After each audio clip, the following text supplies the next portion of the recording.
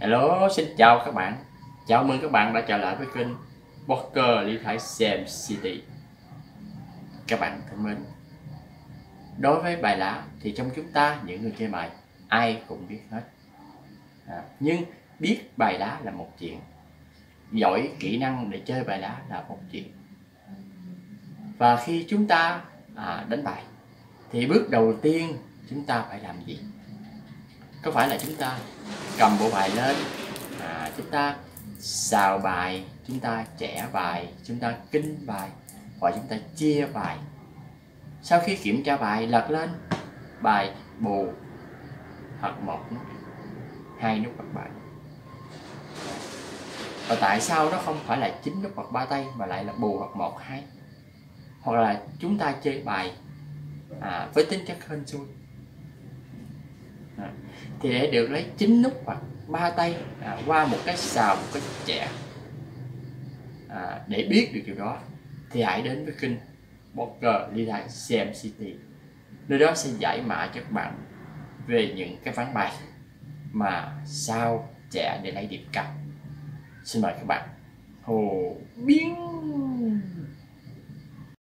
rồi thì kỹ năng trẻ sắp đó là một trong năm kỹ năng bài cơ bản à, dành cho những người à, đánh bài lá à. rồi thì à, thái sẽ biểu diễn một ván cho các bạn xem à, sau đó là thái sẽ chia sẻ cái cái cách à, chạy cách như thế nào nhé à.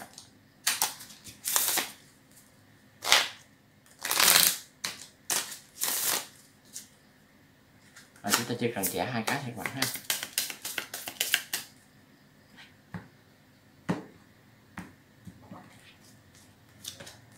rồi thì thái sẽ lấy à, chín nút. Như thế này.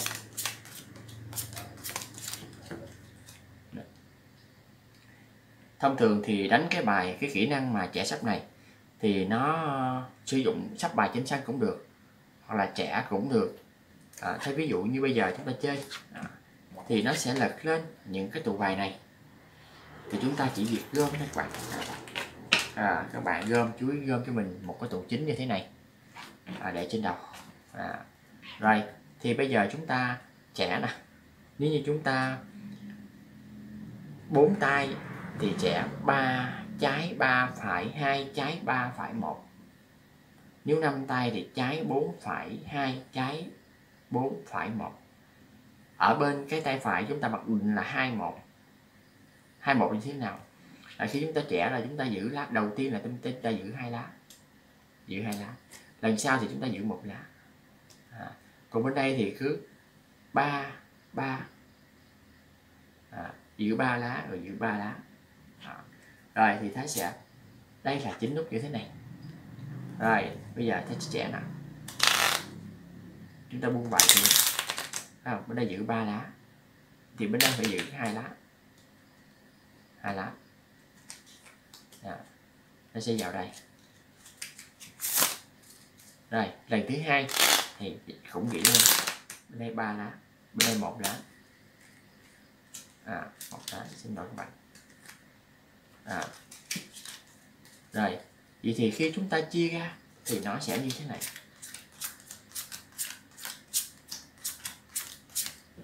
Nó sẽ như thế này. Đó, đây là khi chúng ta gom bài trên xanh thì chúng ta à, theo cái nguyên tắc là trái ba phải hai trái ba phải một. Còn nếu bây giờ chúng ta không có bài định xanh mà một bộ bài nó bình thường như, như thế này. À, thì chúng ta cầm bài lên như thế này. Chúng ta phải thấy được một lá ít nhất một lá là lá này. À, khi chúng ta cầm lên à, chúng ta thấy một lá này. Hoặc là dùng kỹ năng bam bam à, chúng ta sẽ lấy được một lá chính. thì một lá chính này thì chúng ta cần lấy hai lá 10 hoặc là hai lá tay. À, nó sẽ là chín nút.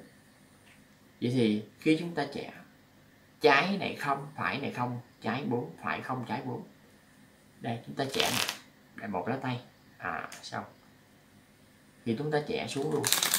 Thì bên đây ta giữ bốn lá. Không. À, một trái. Còn thứ hai.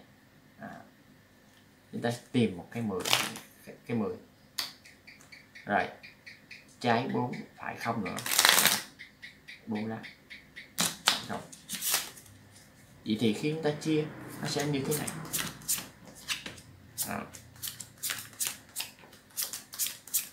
Đó, bạn thấy đơn giản Đó. Đó. nếu như năm tay thì trái 5 phải không trái 5 phải không hai lần trái hai lần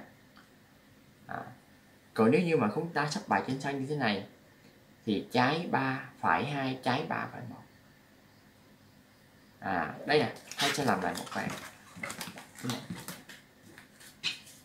ba lá này nằm trên đây. À. dạ. Trái 3 phải 2 à, là khi mà chúng ta trẻ quen rồi thì nó sẽ nó sẽ cảm giác được. Trái trái 3 phải 1 rồi thì chúng ta chia ra.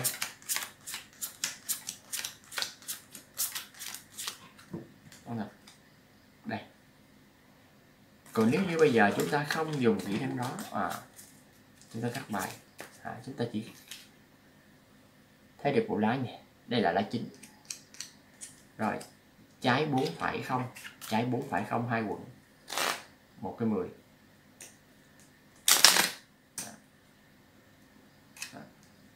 bốn lá rồi một quần. À, xin lỗi các bạn. Bốn lá một quần. Khi chúng ta chia nó sẽ như thế này.